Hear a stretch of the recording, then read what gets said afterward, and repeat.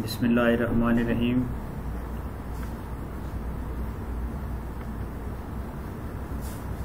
Today I will be delivering a lecture on non-Hodgkin lymphoma. Today's learning objectives are that after the lecture you must know the definition of non-Hodgkin lymphoma, the clinical presentation and the complications of non-Hodgkin lymphoma and the complications of the treatment of the non-Hodgkin lymphoma also. You will be able to know the workup of the non-Hodgkin lymphoma and you will learn the differential diagnosis of non-Hodgkin lymphoma and you will know the different therapeutic options or facilities available for non-Hodgkin lymphoma and finally you will know the prognosis, prognosis of the non-Hodgkin lymphoma. First of all the definition non-Hodgkin lymphoma you know is a lymphoma which is heterogeneous uh, in nature and these are heterogeneous tumors of the lymphoid tissues or of the lymph nodes. The tumors result from infections, translocation, I mean the chromosomal translocations, some envir environmental factors, immunodeficiency states and chronic inflammatory conditions. The etiologies of non-Hodgkin lymphomas, first of all, as I said earlier, that the chromosomal translocations have a uh, greater role in the pathogenesis of the non-Hodgkin lymphoma.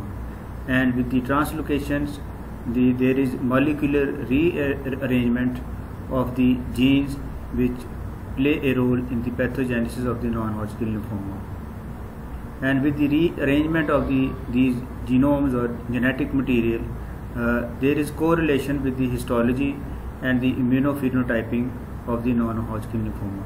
By immunophenotyping, you mean by with the change in the uh, genes and translocations, the, there are uh, tumor markers or uh, surface markers on the cells which correlate with the histology as well as the type of the cells of the uh, non-Hodgkin lymphoma. The commonest translocations are the translocation between chromosome number 14 to 18 and the the long arm of the chromosome 32 and and 21 region. Uh, these translocation is the commonest in the causation of the non-Hodgkin lymphoma. And with this translocation, the 85% of the lymphomas are, are follicular lymphomas, and the 25 28% are high-grade non-Hodgkin lymphoma. And with the translocations, there is juxtaposition of the BCL oncogene at chromosome chromosome band number 18 uh, the the gene on the arm is 21 and 2 chromosome 14 and the gene is 32 and the by juxtaposition I mean that there is a the immunoglobulins and genes they they are lying close together. I mean they are juxtaposed lying close to each other. That is why we use the term juxtaposition uh, of the translocations. And with this juxtaposition of the immunoglobulins and uh, and the genes they, there is production of different effects on the cell type of the non-Hodgkin lymphomas.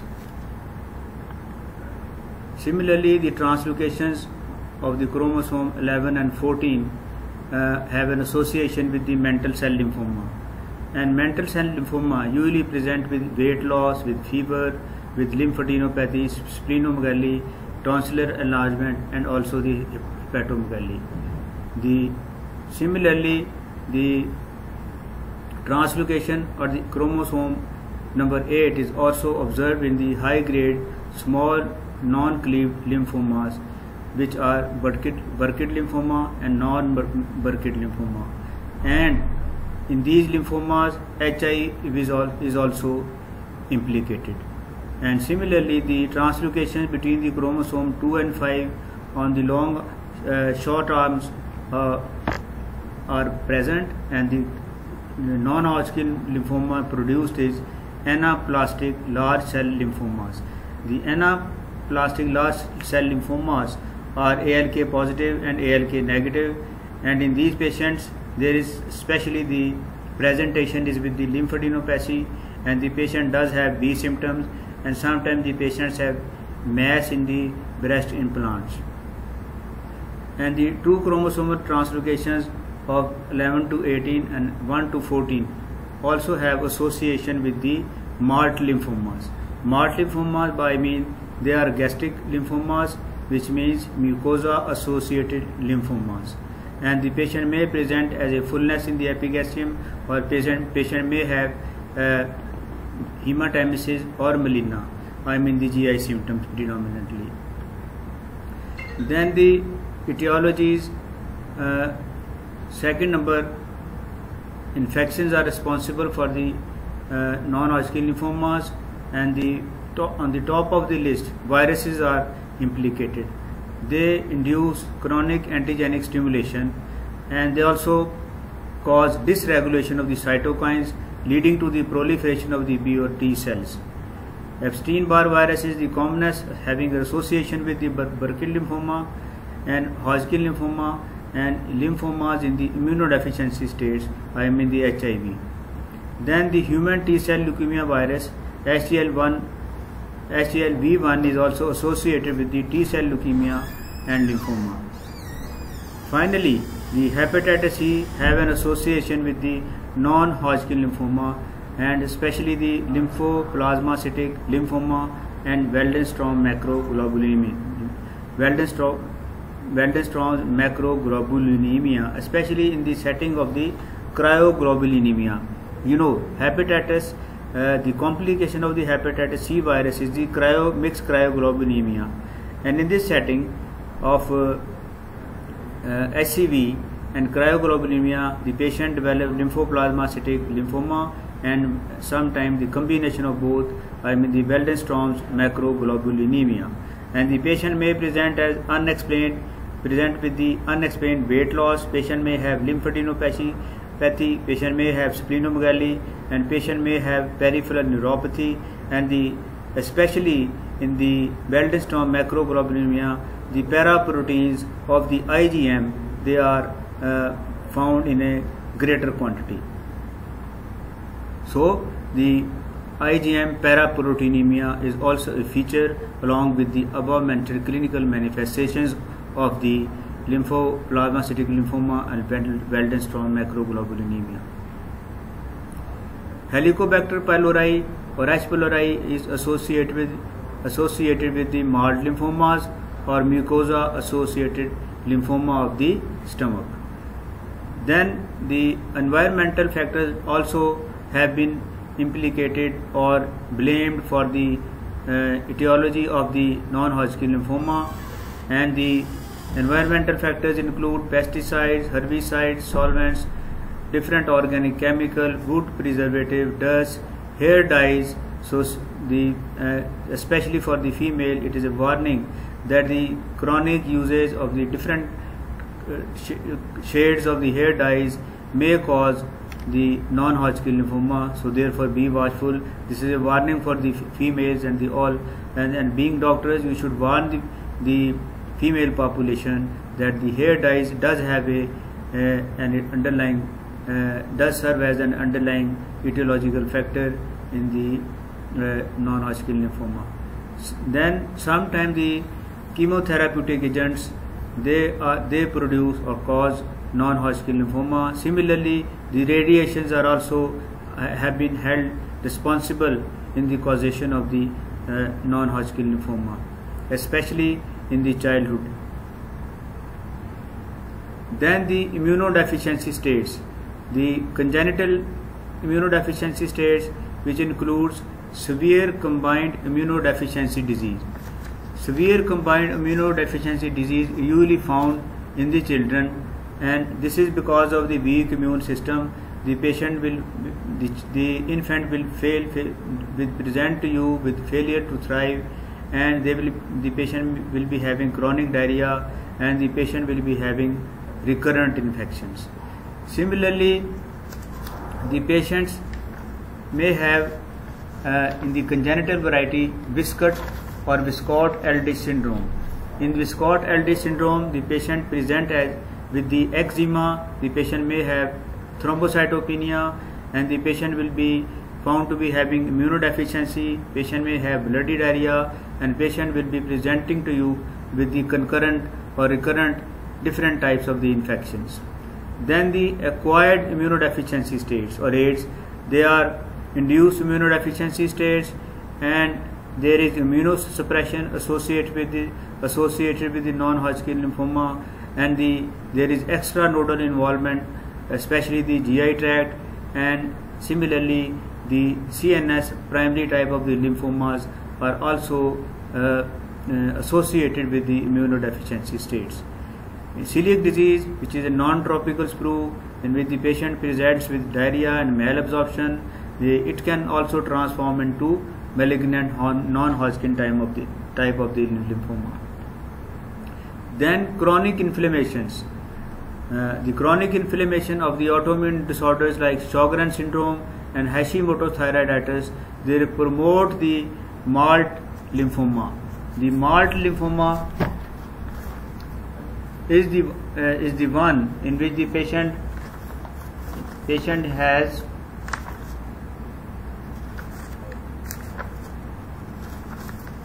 it is a special type of the non-Hodgkin lymphoma, malt lymphoma, which will be I will be discussing with you with you later on in the discussion. Then the the patients uh, in the chronic inflammation, chronic Hashimoto's thyroiditis, it can develop or lead into the development of the uh, primary thyroid lymphoma. Epi, now the epidemiology. Non-Hodgkin lymphomas are most prevalent hematopoietic neoplasms and the incidence is 4.2% of all the cancer and non-Hodgkin lymphoma is 5 times as common as Hodgkin lymphoma. Vice versa, Hodgkin lymphoma is 5 times lesser than the non-Hodgkin lymphomas. The age range is 65 to 74 years and the medium or median age is 67 years with an exception that the high grade lymphoblastic lymphomas small non-cleaved lymphomas they may be found in children and the young adults so categorically it is an indication that you should not make it a principle or rule that the non-Hodgkin lymphomas are found only in the older age groups they can also be found in the younger adults and the children also. The low grade lymphomas incidence is that is the 37% age incidence, the 37% of the non-Hodgkin lymphomas are found between the age of 35 to 64 years and 60, 16% uh, inflict the patients who are who are having the age less than 35 years. So uh, the low grade lymphomas can, are more common compared to the high grade lymphoma in the younger people up to down to 16 years of age. The clinical manifestations they are factor dependent which means the feature will depend first of all the location of the lymphoma as to where the first uh, where is the first location of the lymphoma. Then the rate of the tumor growth or whether it is slowly growing or whether it is uh, intermediately or slowly or mediumly growing at a medium pace or whether it is fast growing. And similarly the dysfunction of the organ which is involved in the non-Hodgkin lymphoma. So the function of the organ being compromised or displaced these are the factors. Then signs and symptoms of the uh, low grade lymphomas or indolent lymphomas by the word indo indolent mean the these are the the lymphomas non-Hodgkin lymphomas which progress at a lower pace that is why uh, I mean word the word means lazy or slowly moving or growing so indolent lymphomas LG lymphomas they present with peripheral adenopathy which is usually pain, painless and they are slowly progressive. Sometimes they may regress for a short period of time, but later on they again aggress and they reappear. So aggression and regression uh, is the feature of the LG lymphomas or low grade lymphomas. Then the extranodal involvement may also be found and B symptoms may also be found but uncommon initially but at a later stage when the disease becomes advanced and especially when the indolent lymphomas they or low grade lymphoma they transform into uh, advanced malignant state then the patient does have B symptoms or extranodal involvements. And and the bone marrow involvement is also very common and patient will be develop, presenting to you with the cytopenias. I mean all the cell lines may get implicated reds RBC WBC and platelets and the patient might have fatigue weakness malaise etc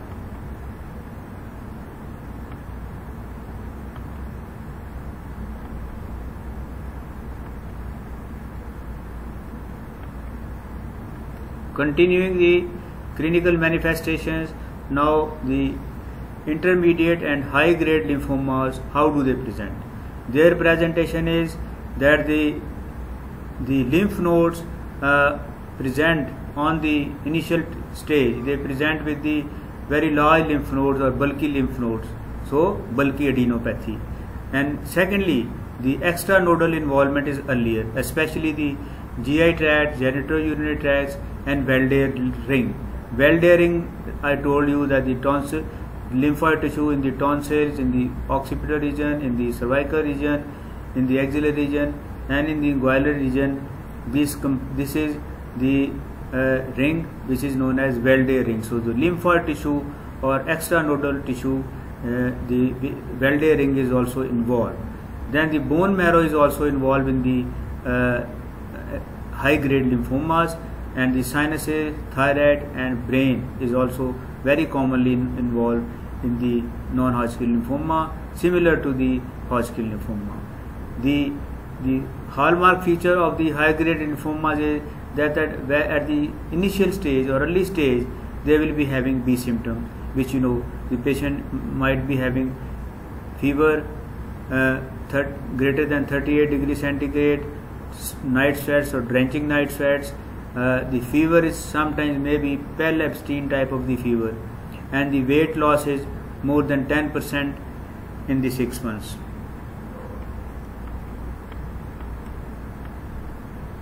Continuing the clinical presentation, the lymphoblastic lymphoma presents with superior mediastinal mass. I mean the with the superior vena, superior vena cava obstruction.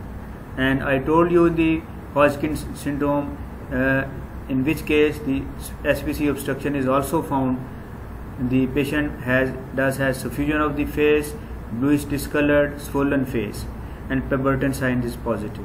Then the uh, these lymphoblastic lymphoma may have leptomeningeal involvement, which mean that the arachnoid and pia mater are involved, and this is helpful in the diagnosis with the help of the LP.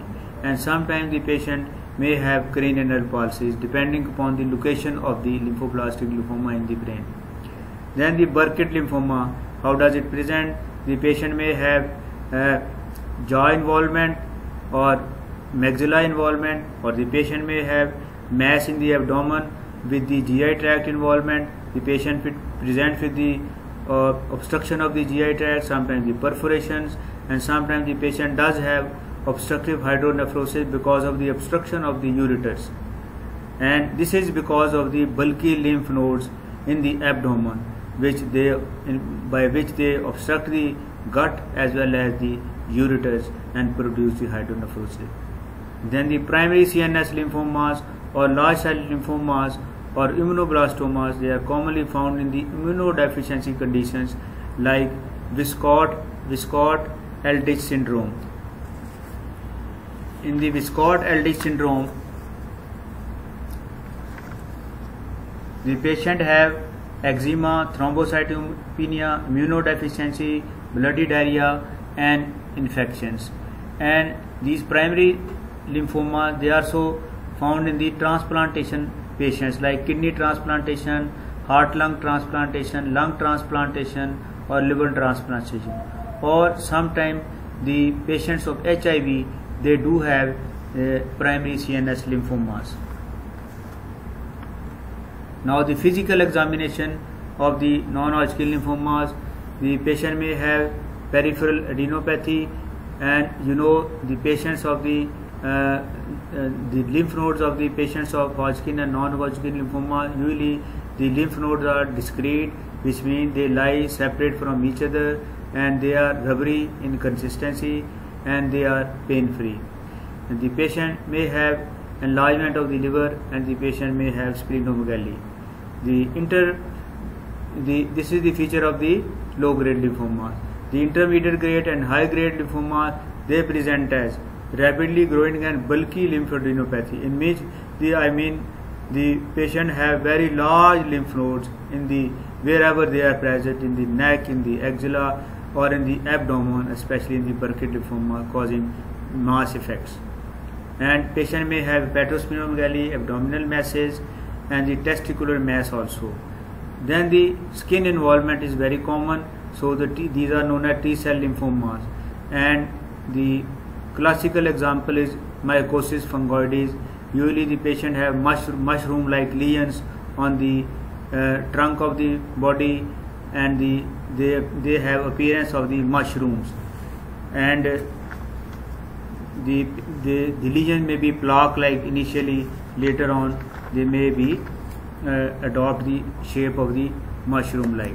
Then the anaplastic large cell uh, lymphoma may also be found in the skin. And the patient may be ALK positive, the patient may, may be ALK negative and the patient may have B symptoms and the patient have uh, lymphadenopathy. These are the features and the other cutaneous involvement lesion is angioimmunoblastic lymphoma. Now the complications uh, of the complications of the lymphomas are cytopenias which may include pancytopenia, I mean anemia, thrombocytopenia, neutropenia or the patient may have autoimmune hemolytic anemia especially in cases of chronic lymphocytic leukemia and small lymphocytic lymphoma. Then the patient may have bleeding tendency because of the thrombocytopenia and because of the disseminated intravascular coagulation and because of the uh, involvement of the vessel by the tumor. So the vessel directly involved can lead to the bleeding. So the patient will be found to be by a good cell as having bleeding somewhere, any region where the, the site of the lesion is. Then patient present to you the patient may present to you with the recurrent infections. This is because of the neutropenia. Then cardiac lesions may be the patient may have pericardial effusion and the patient can develop arrhythmia secondary to the metastasis to the uh, heart. Similarly, in the respiratory system, patient may have pleural effusion and the lung parenchymal lesion can also be found uh, in case of non-Hodgkin lymphomas. In addition to the lymphadenopathy, there may be an infiltrative lesion in the lung parenchyma and SVC syndrome has already been discussed. This is because of the mediastinal masses and especially when the mediastinal mass or tumors become they, they, they become very large in size, they compress the superior vena cava and thereby produce the superior vena cava syndrome. Then the spinal cord compression may be because of the metastasis to the vertebral bodies. The vertebral bodies they collapse and they cause the cord compression and the patient may have spastic type of the paraplegia and the level will be dependent upon the at which side of the uh, uh, spine the metastasis has taken place continuing the complications the neurological complications secondary to primary CNS lymphomas or leptolymphomatous meningitis meaning thereby any part of the brain can be in, in, involved in the in the in the non-Hodgkin lymphomas and meningitis can also be I said earlier leptomeningeal uh, uh, meningitis will be produced and you can do the LP to diagnose the uh, lymphoma in which you will be finding the lymphoma cells. So very easy to diagnose if the patient have presented to you with the primary CNS lymphoma or leptomeningeal meningitis. Then the patient may have GI obstruction, perforation and bleeding with GI lymphoma and post chemotherapy also. I mean you are treating the Burkitt lymphoma with the chemotherapy, the, the patient can develop perforation and the patient can develop present to you with the acute abdomen. Then lymphocytosis in the leukemic phase of the disease. So be careful that sometimes adverse thinking can be found out uh, to your expectation, adverse to your expectation. You, you are thinking of lymphopenia, the patient may have lymphocytosis in the leukemic phase of the disease. Now coming to the investigations, first of all the routine investigations in which the, you will be ordering the CBC and you will be finding anemia, thrombocytopenia, leukopenia, I mean the pancytopenia. Lymphocytosis may be found, thrombocytosis may, be found. So remember pancytopenia and vice versa, lymphocytosis and thrombocytosis may also be found. In the serum chemistry, LDH is always very high, LFTs are always deranged because of the hepatic involvement and serum beta 2 microglobulin level is also very high. HIV serology is mandated to be done on your part because uh, there are many ways in which the uh, non-Hodgkin lymphomas uh, uh, may be found with the HIV. So, in diffuse large immunoblastic lymphomas and small non cleave lymphomas, HIV is especially implicated, but be watchful in all in all cases of non-Hodgkin lymphoma. Then human T cell lymphotrophic virus 1 serology is also mandatory and it is involved in the genesis of the T cell leukemia and lymphoma. Then hepatitis B surface screening. Hepatitis B screening is mandatory.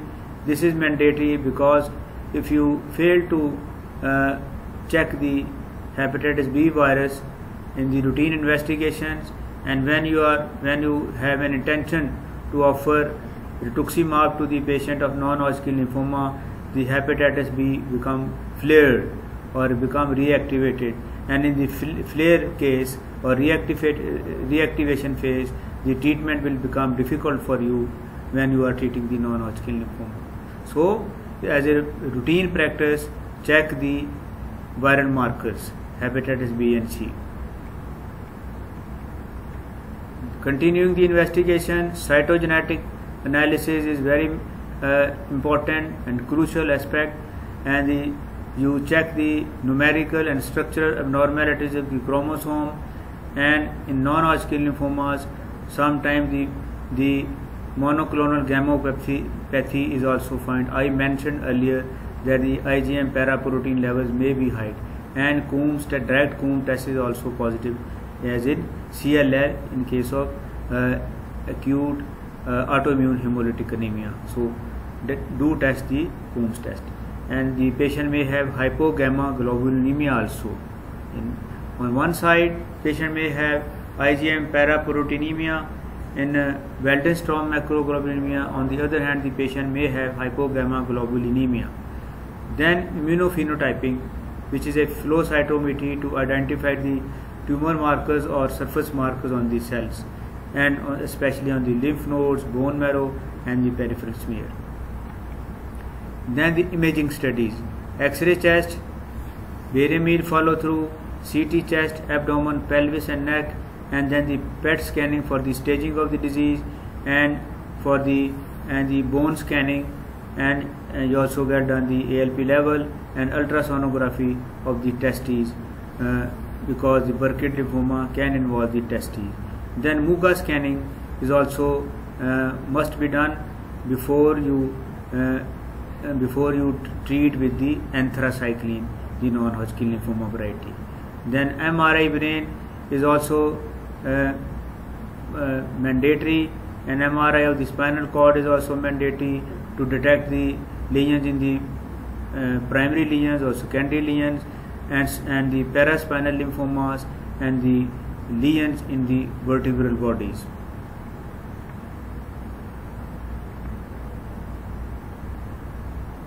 this is the Gallium study in which there is uh, the shown the extensive uptake in the mediastinal lymph nodes mediastinal lymph nodes in the non-Hodgkin lymphoma. See, this is the increased uptake. This reddish area and the yellow background is the increased uptake of the gallium uh, material.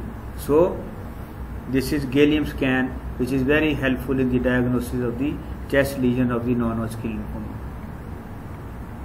Continuing the investigation, the procedure involved, you have to go for the bone marrow examination by biopsy for staging of the disease, then external biopsy of the lymph nodes.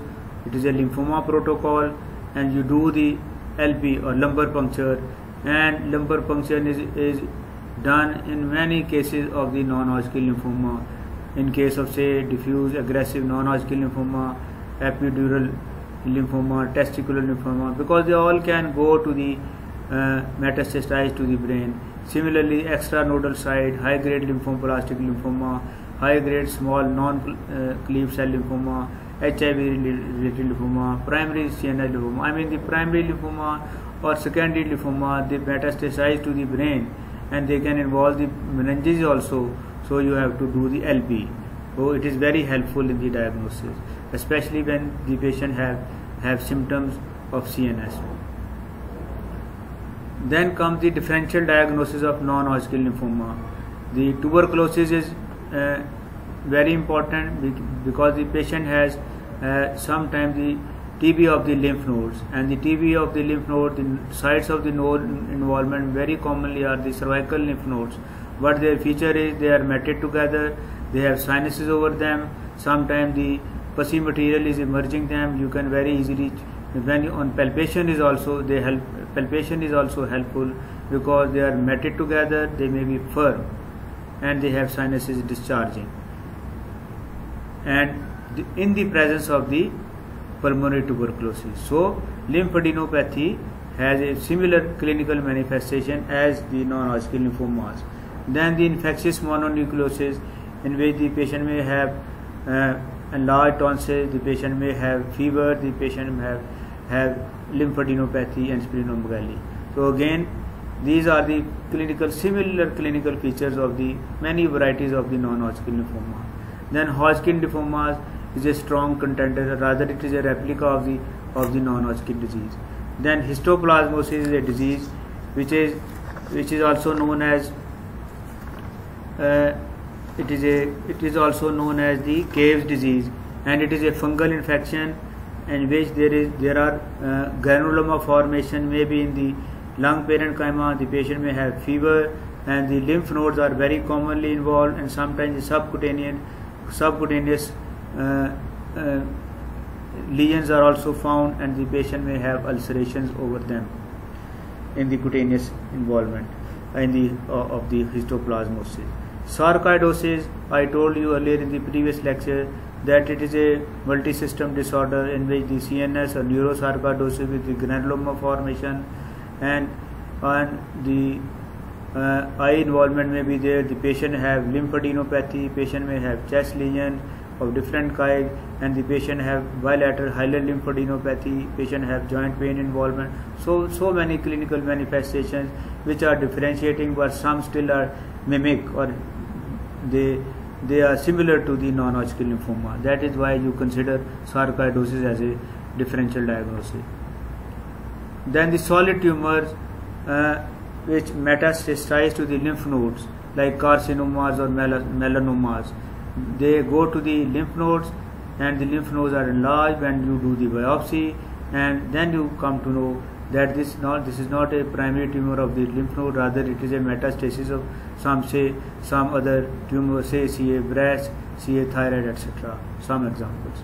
Then the lymphoproliferative disorders and granulocyte sarcomas and Castleman disease uh, can also have lymphadenopathy in Castleman disease, the patient may have fever, weight loss, night sweats, lymphadenopathy, hepatomegaly, and splenomegaly. I mean, all the features which are uh, found in the non-Hodgkin lymphomas as well as the Hodgkin lymphomas, these are present in the Castleman disease, but still so that is why you consider this then benign lymph node infiltration in secondary infection and collagen vascular disorders and the collagen vascular disorders you may forget but lymph node may also enlarge like SLE you can have lymph node enlargement.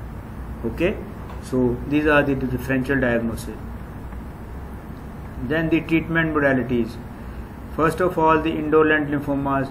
It is stage dependent status of the disease limited disease. If the disease is limited you do the localized radiation.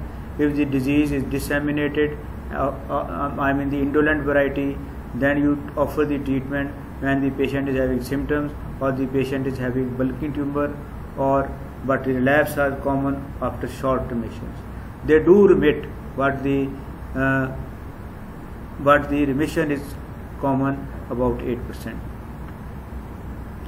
Rituximab is given in case of indolent lymphomas or low grade lymphomas and it is given for 4 weeks alone or in combination with the chemotherapy.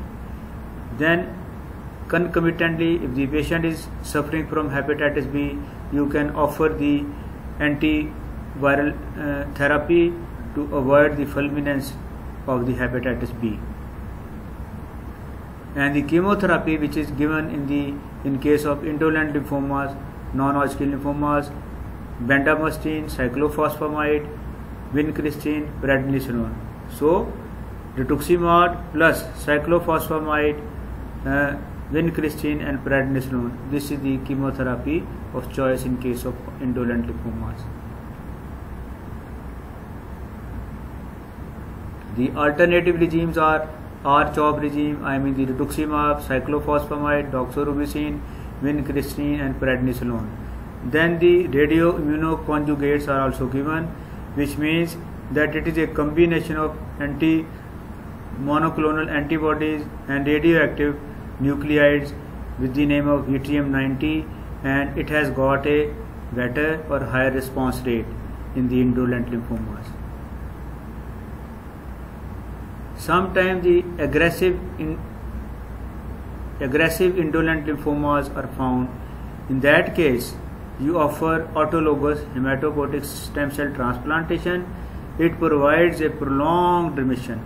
I mean, it is a better treatment option in cases of aggressive indol indolent lymphomas. Otherwise, the it, is the reason is also the limitation of the alternative choice because the patient doesn't if the patient does not improve with the with the above mentioned uh, chemotherapy then you have to go to the AHSCT to get the prolonged remission then the MALT lymphomas you treat the MALT lymphomas or mucosa associated lymphoid lymphomas uh, usually the gastric one the, the you offer the antibiotics you offer the eradication therapy of the H. pylori and the PPI are a part of the H. pylori eradication therapy regime. Then stomach radiotherapy can also be given in cases of the MALT lymphomas.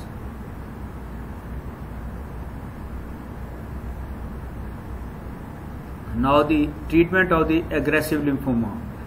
The diffuse large B cell lymphoma you have you give in the cycles the chemotherapeutic agents. The regime is R-CHOP regime. Rituximab cyclophosphamide doxorubicin vincristine and prednisolone especially in case of diffuse large B cell lymphoma. And you also do the nodal radiotherapy involve node radiation therapy and it, is especially given when the lymph nodes are bulky and the extranodal involvement is also there. If the relapse occurs, the choice is autologous hematopoietic stem cell transplantation, which sometimes curable. Then the double hit lymphoma. The double hit lymphoma is of the diffuse uh, large B cell variety and the two genes are involved in the causation of the double hit lymphoma. And the translocations are at the chromosome in the uh, between the chromosome 8 and 14 and 18 and 14 they are very aggressive and the therapy you offer in case of double hit lymphoma is R-EPO therapy which includes rituximab, etoposide, prednisolone, vincristine or Oncovin and cyclophosphamide, doxorubicin or hydroxy, uh, hydroxydaunorubicin which is uh, non-curative and inferior therapy. Now, treatment of the elderly patients of the non-Hodgkin lymphoma. Uh, you know, the older people are uh, difficult to uh, treat. Therefore, because of their poor health uh, and their uh, status, the treatment is difficult because the tolerance is poor of the chemotherapeutic agents. They can't tolerate older people. Their their defense is weaker their overall health is poor, their functional capacity is poor. That is why the patient uh, they are difficult to treat. But you can offer the myeloid growth factors, prophylactic antibiotics, and you reduce the neutropenic complications. You offer the antibiotics so that the patient does not develop the neutropenia because neutropenia invites the infections and recurrent infection and recurrent infection and sometimes the recurrent infection they are enough to kill the patients especially if the old age group non-Hodgkin lymphoma. Now the mantle cell lymphoma is the one in which the patient has weight loss, fever, lymphadenopathy, splenomegaly and tonsil enlargement and hepatomegaly for the mantle cell lymphoma, there is no effective chemotherapy. Therapy. You have to alternate. You have to offer the alternative treatment, which includes intensive immunochemotherapy and stem cell transplantation. It does improve the outcome with the curative potential. So, in the mantle cell lymphoma, the better option is autologous hematopoietic stem cell transplantation. If the relapse occur, you can offer the anti-monoclonal antibody ibrutinib. Then primary CNS lymphomas. To treat the primary CNS lymphoma, you give cycles of the IV methotrexate plus rituximab and you will be finding a better outcome. Then the high grade lymphomas, Burkitt lymphomas or lymphoblastic lymphoma, they have to be treated urgently, intensively and cyclical chemotherapy is given and similarly similar to the acute lymphoblastic leukemia you offer intrathecal chemotherapy in the high grade lymphomas of the CNS. Then the peripheral T cell lymphoma the advanced stage nodal or extranodal disease is there and they are poor responders to the chemotherapy and the first line therapy is the straightaway autologous hematopoietic stem cell transplantation. So remember, T cell lymphomas are treated treated with the first choice stem cell transplantation. Then antibody drug conjugates, especially the brentuximab vedotin, they have got a significant activity in relapse cases. Now finally the prognosis of the indolent lymphoma, the median survival is 10 to 15 years. Ultimately, they may be refractory to chemotherapy. So, the meaning thereby, deep sea run slowly. So, indolent lymphomas are as treacherous as sea is. It runs slowly, but it is very deep.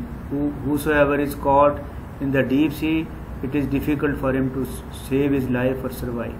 So, the indolent lymphomas they survive for 10 to 15 years, but ultimately they become refractory to chemotherapy. No, no choice. In the intermediate grade or high grade lymphomas, first you have to decide the international prognostic index, which does the risk categorization. So, risk categorization is mandatory prior to the uh, uh, discussing the prognosis of the high grade or intermediate grade lymphomas. And what are they? The factors are age greater than 60, elevated LDH level, advanced disease, I mean the stage 3 or stage 4 disease, and more than one extra nodal site involvement and the poor performance status of disease. So these are the factors which determine the risk categorization and the risk categorization help you determine the international prognostic index. Now the cure rate is 80% for low risk patient, I mean no risk factor, 50% for high risk patients if there are four or more risk factors. In case of relapse, prognosis depends upon response to chemotherapy and autologous hematopoietic stem cell transplantation have 50% chances of survival and lymphoma free survival. Now look at the signs of the non-Hodgkin lymphoma. You need, you need, you know, you see this guy has got has got uh, bulky lymphadenopathy. Again, a single lymph node in the posterior part of the neck, I mean the post posterior auricular area, is a circumscribed lesion, and obviously it looks smooth, uh, somewhat irregular, but reddish. The surface is reddish, but when you do the biopsy, then you will be able to diagnose the disease because similarly the Hodgkin lymphomas can also present and seem the same way the NHL can present. So that is why the purpose of showing this slide is. Now this is the mycosis, fungo, mycosis fungoides which mean the cutaneous involvement of the non-Hodgkin lymphomas. You know there are skin plaques and there are mushroom mushroom like tumors on the torso of the body. So this is skin manifestation or skin uh, non-Hodgkin lymphoma. Again you see the patient is having uh, below the chin the patient is having a cutaneous lesion in the neck above the cricoid cartilage there is a necrotic ulcer with hemorrhagic crust and there is also surrounding erythema. Now similarly a small ulcerated lesion on the uh, on the breast parallel to the areola and nipple. There is ulceration with crust and surrounding erythema. So if this small lesion is found you should be suspicious of that this may be a case of non-Hodgkin lymphoma and especially warn the ladies that if they, if they found some ulcerative lesions on the breast it can be a cancer especially of the non-Hodgkin lymphoma variety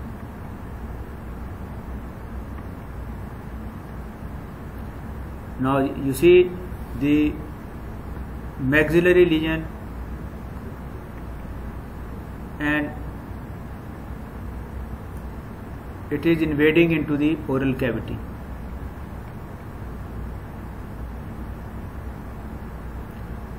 Now this is Burkitt lymphoma involving the jaw in the childhood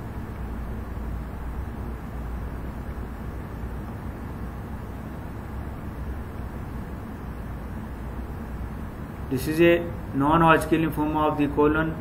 The surgeon has is showing you the large lymph node uh, and along with the lesion in the gut, colon especially. Now you see ulcerated lesions on the face primarily or apparently it looks as small ulcerated lesions, erosive lesion but actually it is non-Hodgkin lymphoma. You see erosive lesion on the cheek with hemorrhagic crust and the, there are well-defined margins of multiple lesions. So see this kind of, if you look with the uh, curiosity and delicacy, you have a critically see the lesion, then you should be suspicious of that this be this this kind of non-Hodgkin lymphoma is also possible. I mean the only the cutaneous involvement, ulcerated lesion and actually it is a non-Hodgkin lymphoma. So it is a warning for all of us that we should not ignore the skin lesions, ulcerated ones on the face of the patient. Similarly on the thigh, diffuse swelling on the thigh and it is actually a non-Hodgkin lymphoma. Do the biopsy and you will be finalizing the diagnosis. Now the paraspinal, this is the paraspinal lymphoma with the help of the MRI of the spine. Any question? My desire is dying down, but you have not asked any question in all the lectures. That is why today's question picture is like this that when you will be asking some question, when the fourth year will be finishing, I think so. You have no intention to ask any question. Anyway, thank you very much for being with me for today. Now, this is a classical case of the, I mean, mimicking the non-Hodgkin lymphoma. The, the bird ahead is the one who is trying to remit. I mean, the, the lymphoma going into the remission, but the bird behind is catching hold of the, the tail of the uh, forward bird and, and it pulling it back so it is trying to relapse so there is a tussle between the remission and relapse ultimately the the relapse bird is stronger and the therefore the relapse is very common in cases of non-Hodgkin lymphoma. Okay, goodbye from Akhtar Trust Hospital.